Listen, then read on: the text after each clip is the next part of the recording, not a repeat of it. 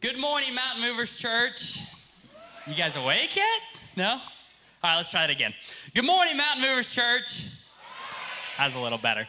All right, so for those that don't know me, I'm Remington Renfro, and this is my way prettier, way easier to look at, better half, Maura. And we're the Accelerate student pastors here. And we've been just so incredibly proud of our students. I mean, they have just been living so on fire for God. It's just been amazing. And we're excited to continue this series, Live on Fire. But uh, before I get started, I want to ask everybody in here have you guys ever started a fire that has just gotten completely out of control? There's there a lot of, has got to be there, more of you people. Come on. There's a, there's a lot of wives out there that are pointing at their husbands like he has. Like, tell them about it. I've got to see some of these or hear some of these stories afterwards. Catch me out back there. But so literally every fire I ever start goes places where I don't want it to go. Like I am the world's worst with fires, and it's cursed me my entire life. I we have a fireplace, and it scares me to death to even start the fire in it because I probably use way too much diesel or fire starter or whatever I'm supposed to use. Are you supposed to use diesel on a fire starter or, fireplace? I mean, it's better than gas, but yeah, yeah. So. but I, I remember this time when I was probably seven or eight years old, and uh, I was in my cousin's wedding, and my one sole job in this entire wedding was to light the candles. You guys see where this is going, right? you guys are catching on. So I'm like all excited because it's the first time I've ever been on a stage before, you know, and so I get my cue to go up on stage. And how this works is um, I take this long stick with a candle attached to it, right? And I light that candle, and I use that stick to light a series of candles up on a stand. And if you would have known seven or eight year old Remington Renfro, you probably would have never put me in charge of being in your wedding to light candles because that was a horrible idea. But, anyways, I take this stick and I light it on fire and I use it to light the first candle and then I go to the second candle, and then I go to the third candle.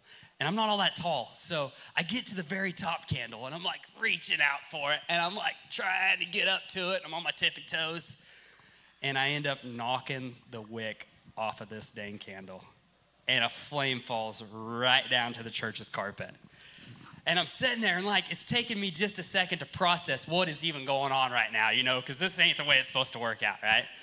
And you know, after practicing this story and like thinking about this story over and over again, have you guys ever, I don't know if you guys know, but like 1970s or 80s shag carpet catches on fire really quick, right? I'm thinking about taking some of that stuff. If you guys got any at your house, I'll take all I can get because I'm thinking about making fire starters out of it. but seriously, like, so I'm processing what's going on right now and I'm watching this flame grow and grow and grow. And finally, I get my bearings back and I go over and I step on the fire and I do a little dance on it. And it's all put out. But it was the talk of the wedding. Like, no one cared that my cousin got married at all. It was like, well, Remi saved us all from a church fire, but he also started the church fire. So, does that count? I'm pretty much a hero, right? Kinda. But the point I'm making here is all these fires that we started that's gotten out of control, right? They all start with one flame. They all start with one candle. And so, as we continue this Live on Fire series, we've titled today's message, Ignite the Fire. And we're going to be diving into being bold in your faith and then igniting the fire in other people's lives. Yeah, so we want to start off, and we're in the book of Acts. And so if you want to go to that in your Bible or on your phone, but um, I'm really going to condense the first two chapters just to set the stage for what's going on. But the book of Acts is written by Luke, and the entire book is really telling us what our lives should be like with Jesus. And it's really where the church just ignites. And so it starts off and it says, to Theophilus, which means friend of God. So this is written to all of us or anybody who is the reader. And this friend of God, you know, he starts off and it really just starts with Jesus ascending to heaven.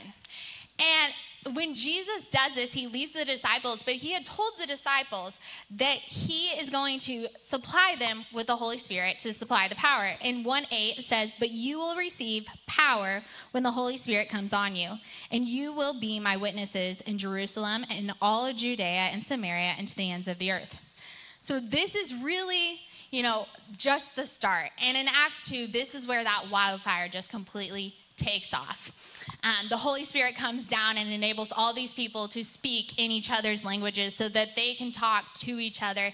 And, you know, at, when this happens, people are one of two things. They're, one, some of them are amazed, and then some of them are like, you're drunk and you don't know what you're talking about. And I laugh at this because I'm like, this is our world today. Like, we get up and we go and we try to tell somebody about Jesus, and they're one of two things. They're either amazed and they're like, yeah, that's awesome. Or they're like, you have no idea what you're talking about and you're crazy, right? So it's funny because I'm like, okay, well, this is literally how this starts off. And Peter, one of the disciples, stands up, and behind him, all of the other disciples stand up, which I think is incredible because who you surround yourself with is who's gonna back you up when you have something going on in your life, right? And so he stands up and he boldly tells these people, he's like, You have to confess of your sins and you have to be baptized. And when he does this, 3,000 people, 3,000, end up confessing and end up getting baptized. Peter truly ignited the fire in their lives.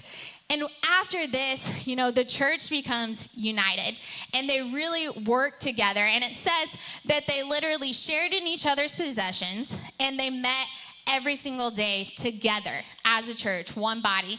And then the Lord blessed them and added new believers day by day. So this is where Acts just truly takes off. Yeah, and it shows us a good example of how to ignite the fire. And then in chapter three, it shows us this prime example of how we should live our lives daily.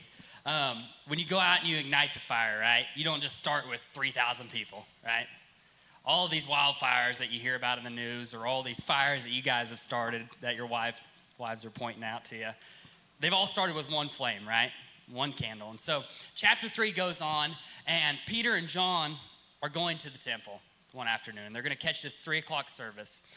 And on their way into the temple, they see this crippled man being carried in. And what had happened is each and every day somebody would carry this crippled man in and they would lay him beside the gate. It's called the beautiful gate, is what they called it.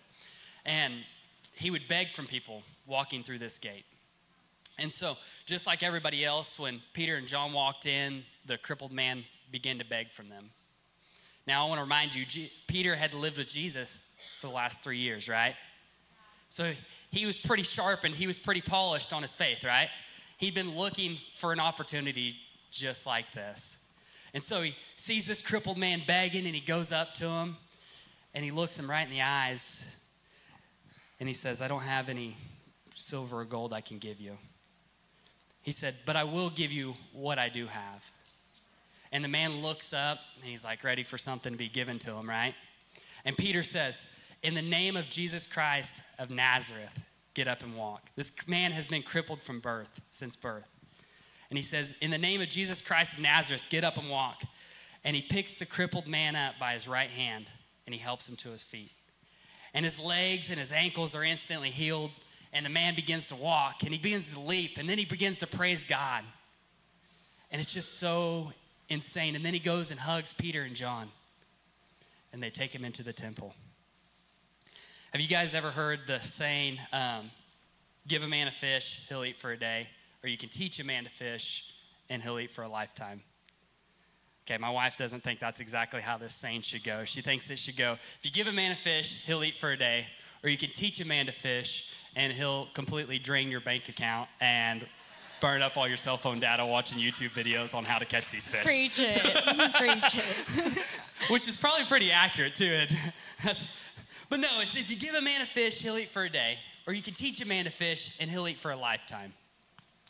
You see, um, these guys carrying this crippled man to the gate, they were giving him fish, right? They were giving him possibly what he needed for that day.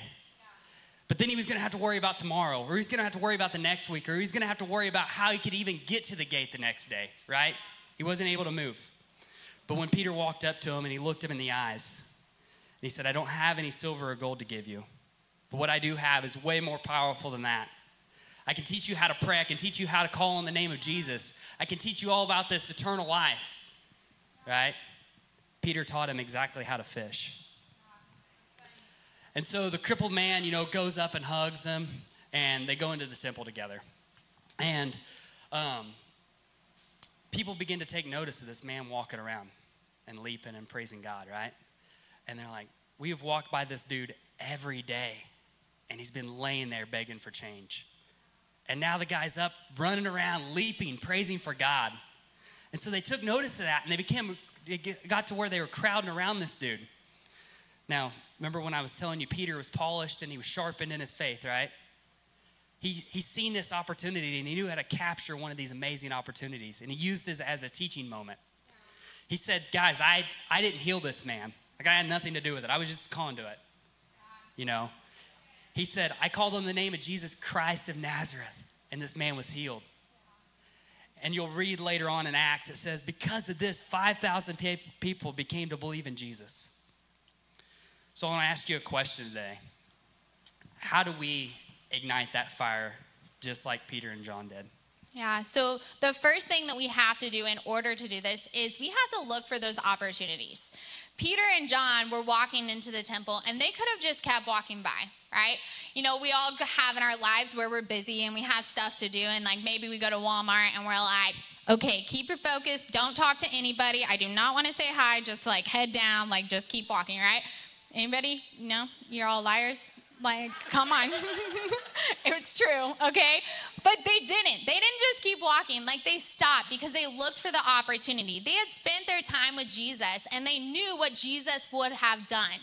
And how do we practically do that? Every single day, we should be praying, God, give me the opportunity to speak into somebody's life. God, make me bold. Let me shine a light. Let me ignite the fire in somebody else's life. But open my eyes and let me see it. That's exactly what we should be doing. And really, what happens, if we're honest with ourselves, we have this light, this candle, and we come in here and we get filled up and we are on fire for Jesus. And then we go out and we either go one of two ways. We either keep it to ourselves and keep on walking and go throughout our week or whatever, and woohoo, I know Jesus, I'm good. Or we can do what we're called to do, and we can go out and we can ignite the next fire for somebody else. But it's a choice. Yeah. Praise God. But you have to be looking for those opportunities. So when you have a friend that's sitting by himself at school or at work, like sit with them. When you have somebody who's struggling with something, pray over them. Like look for those opportunities to be able to speak life into other people's lives. Ignite that fire. Yeah. So, the second point we want to make today is you have to listen to the Holy Spirit. Yeah. As the story goes on, um, Peter and John are out preaching to all this, this big crowd out there, and uh, these Jewish leaders end up overhearing it. And they end up hearing them talking about Jesus. And so that Peter and John end up getting arrested by them, and they begin to interrogate him. And they're like, okay, we've seen this crippled man laying by this gate for every every day. Like, how the heck did you heal them? You know, like, what is going on? And Peter pipes in and he says, first off, like, I didn't heal him. Just like I said earlier, like, he was just a conduit, you know? He said, I called on the name of Jesus Christ and this man was healed. Guys, that's how we have to be every day. Like, we have to be that bold in our faith. Like, they were literally arrested, detained in jail. And Peter's like, okay, you guys got this all wrong. Like, Jesus did this, which the man they're anti against, you know, they're against Jesus. So we have to be that bold. And when Jesus left us, he left us this Holy Spirit for guidance. Um, John 16, 13 says, When the Spirit of truth comes, he will guide you into all truth. He will not speak on his own, but he will tell you what he has heard. He will tell you about the future. Guys, if we want to be bold in our faith, we have to rely on the Holy Spirit. You know, when I'm out guiding hunts or, or fishing trips, um, all the guides I work around, we all have this one saying that we use, and it's don't guide the guide. And usually we say that when we have some unruly client that doesn't want to listen to us whatsoever, which happens a lot more than you'd think. But yeah, why listen to the guy that does it every day? But but when we're telling the Holy Spirit the outcome, like when we tell the Holy Spirit we know what's going to happen, we're guiding the guide. You know, it doesn't matter what roadblock you have in your life or what you're coming against, whether it's your own insecurities. Guys, you have to listen to the Holy Spirit. Or whether you think that no one cares what you're going to have to say, which is literally me and Maura every time we get up on this stage. You're like, no, they ain't going to listen to us. Guys, you have to listen to the Holy Spirit. Or when we're worried about that we won't know what to say, you have to listen to the Holy Spirit. Or when you're worried about the fear of judgment, that's a common one. What are they going to think of me? You have to listen to the Holy Spirit. Or when you're just plain afraid to. Guys, He's going to tell us to do stuff that we absolutely don't want to do or we're not comfortable with doing. That's just a common thing, it just happens. I can't imagine when Peter went up and prayed for that man and told him to get up. You know, you think about all the thousands of people that walk by this crippled dude laying by the gate.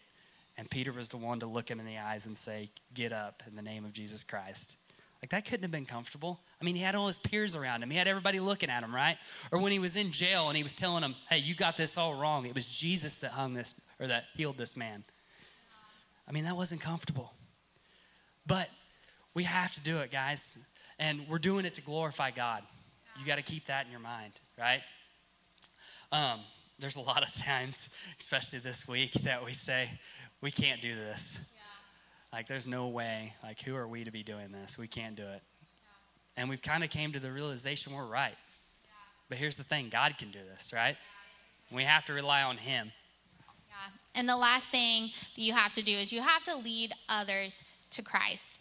Um, we want to show you somebody in our church who is really igniting the fire in the community. And, you know, he is looking for those opportunities. He is listening to the Holy Spirit and he's leading others to Christ. So check out this video. Hi, I'm Jared Russell, and I'm an Accelerate student at MMC. So the other day I was at work and I was like, I texted my mom and I asked her to bring me a shirt for the gym. And when we were on the way, I changed into that shirt and it was my Jesus Loves You shirt. And I got to the gym and I was working out and this dude, he came up to me and he was like, hey man, not to be weird or anything, but I just, I really like your shirt and thank you for wearing that today. So after that, I felt like I should have prayed for him. So I went up to him and I prayed for him and he kind of got emotional so I could tell he needed it. And I finished my workout and I, when I got home, he messaged me and he was like, hey man, thank you for that. I really needed that. And it just felt amazing because I knew God was working in his life and it was just an awesome opportunity to pray over him and see his life change and plant a seed in him. So ever since that, uh, I've been able to get more opportunities to pray. So I work at a, a coffee shop called Waymaker and they asked me to pray one Saturday for a video. And I started doing that and as that, I just got more like bold in my faith and more willing to pray for people. And then camp started. I was worshiping one night and I just felt the presence overwhelm me. And I just, uh, I just felt like a need for a Bible study. And so this past uh, Monday, we had a Bible study with all my friends and I invited people.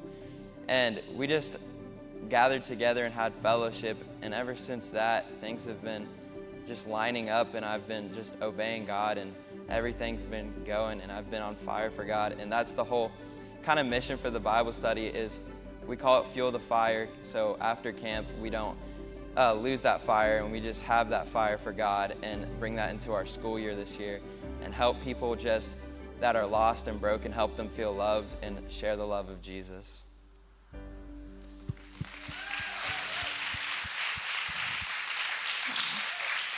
Jared is really just igniting the fire. And, you know, I just have to pause and think and say, you know, what's our excuse? Like, what is our excuse? Because we really don't have one. And, you know, Peter and John, they could have came up with a lot of excuses to be able to lead this um, man to Christ. Like they could have been like, eh, like he's been doing that every day. Like I don't, I don't like the way he looks. I don't like the way he talks. I, I know his past. That's why he's poor. Blah blah blah. Right? But instead, they led him to Christ. It didn't matter what he looked like, it didn't matter who he was, because every single person Jesus loved so much. And you know, we skipped over in Acts 2. We really just talked about the church becoming unified. But if you this week make time, don't if you have time, make time to read Acts 2 42 through 47 because this is what the church should be. The church is the people. And we are the church. And in Acts, the church becomes unified body of believers because they truly loved each and every single person. And they truly went after Jesus with everything that they had. And you know, they ignited that fire. And it's time that we start doing that as well. It's time that we, you know, look for those opportunities, that we listen to the Holy Spirit and we lead others to Christ because we don't have excuses anymore. Like, it's time to be the church and it's time to stand up and be bold. I want to ask you, I want to finish with this question. Do you believe that Jesus died on the cross for your sins? Do you believe that he was raised from the dead? Then why don't you believe that the same God who did that can use you? Because he can and he will when you let him. He's the same God who led 5,000 people to Christ. He's the same God that performs miracle after miracle that we see here, that we see in the Bible. He's the same exact God. So he can use each and every one of you to ignite the fire in your schools, in your work, wherever you're at, but you have to let him use you. Let's pray.